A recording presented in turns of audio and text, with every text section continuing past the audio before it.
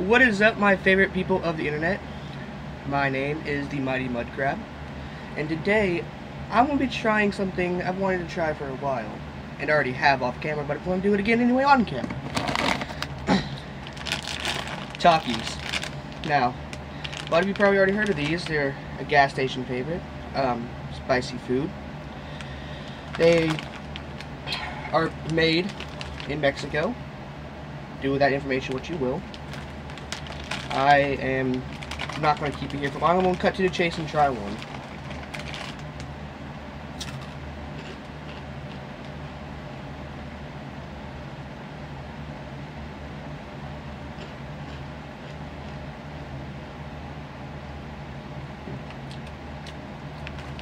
Now these things are made with hot chili pepper and lime.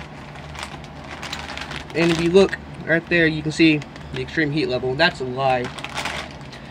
They are not very spicy. If you ever had a flaming hot Cheeto, maybe they're maybe on the same level or a little less. They're about the same amount of, you know, mess. They get that red powder on your fingers. That's why I got this towel. Overall, I'd have to rate the snack a 4 out of 5 for because they're really good, but that bag was $4, so they're a little pricey. They and not everybody likes spice, right? And they're a little messy. So maybe that's three negatives. Maybe I'm rating it a little bit too high.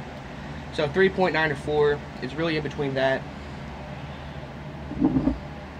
But since these are spicy, I have this magical potion called milk that will cancel that out really quickly.